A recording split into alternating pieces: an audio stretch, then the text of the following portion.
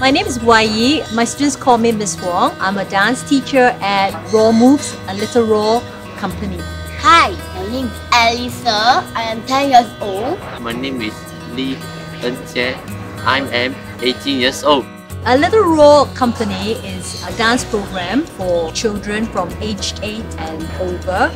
We support, encourage, connect inclusion learning of dance.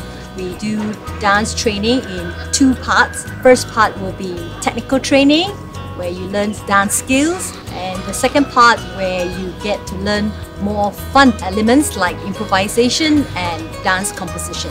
What do you like to do in dance class? So I look for Matthew. You look for Matthew. Yeah. And if I'm not wrong, is Mr. Matthew a da- one of the dance teacher in a little raw? Yes, So what does what does En Jie like to do with Mr. Matthew? Rainbow.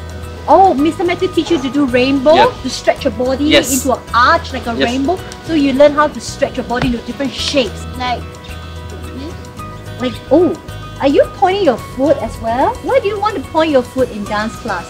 make it straight. Make it straight. Oh, and I can see that the moment you stretch your, your, your leg all the way to the tip of your toes, you know what? Your legs are so long and sexy.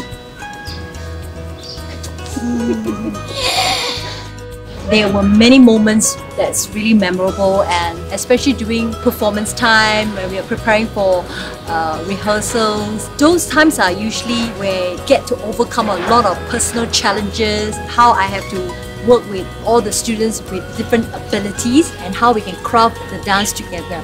I felt that this is really very enriching and meaningful for their lives